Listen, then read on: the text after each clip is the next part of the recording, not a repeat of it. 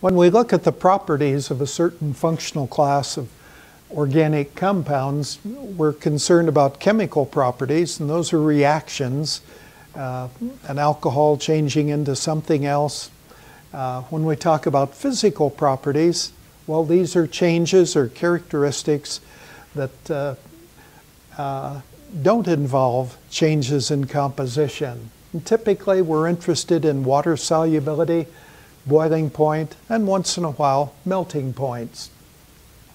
Here's the symbol for an alcohol. And notice that it's similar to the structure of water over here. One of the H's of water has been replaced by this R group, uh, which could be a methyl or an ethyl or anything organic, uh, long chain of five, a ring, whatever, with that OH functional group.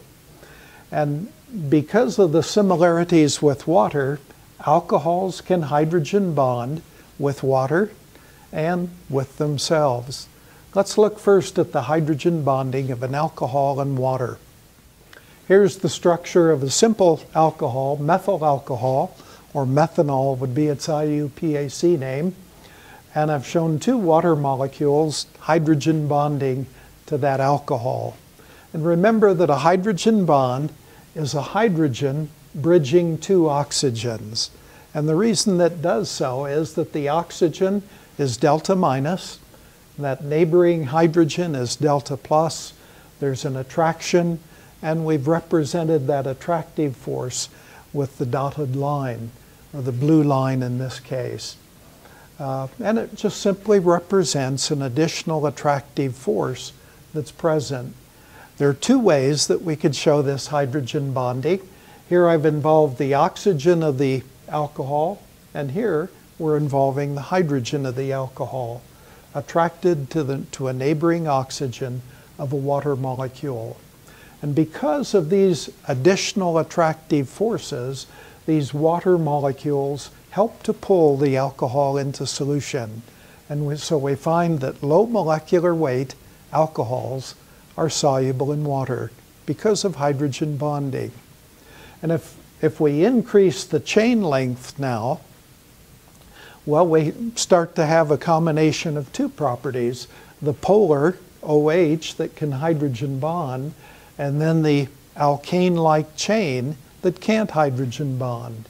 And if we get up to something here, I've got five carbons with an OH on the end, would be one pentanol. Well, it can still hydrogen bond with water.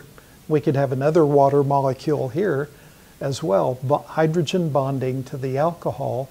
But the properties now of this alkane structure start to overweigh the properties or the effect of the hydrogen bonding. And we find that one pentanol is only slightly soluble in water. So, in summary, low molecular weight alcohols, water soluble because of hydrogen bonding, and then as the chain length increases, we get less and less water solubility. Let's look at the effect on boiling point. Here I've shown the structure of a two carbon alcohol, ethyl alcohol, or its IUPAC name would be ethanol. Got two molecules of it and a hydrogen bond. Here's the hydrogen bridging two oxygens. Uh, we could do the same with that hydrogen up there. So there could, so could be some additional hydrogen bonding. And this hydrogen bond represents an attractive force.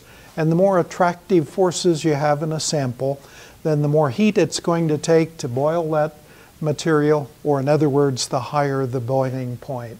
So we can say that pure alcohols, this word pure I've used simply to represent the fact that we don't have water around. We're not talking about water solubility or a mixture of alcohol and water, but just the alcohol pure alcohols can hydrogen bond, giving higher boiling points than we might have expected, or higher boiling points than hydrocarbons by comparison. If you had a quiz question or an exam question and, and uh, two alcohols are shown and we ask you to pick the representation, the best representation for hydrogen bonding, uh, what would it be like? Well, we could put that dotted line between the two hydrogens, but there's no affinity of the two hydrogens. This one is delta plus, this one is delta plus. That's not going to happen. But we'd see something like this, if we could draw that dotted line, a hydrogen bridging this oxygen and this one.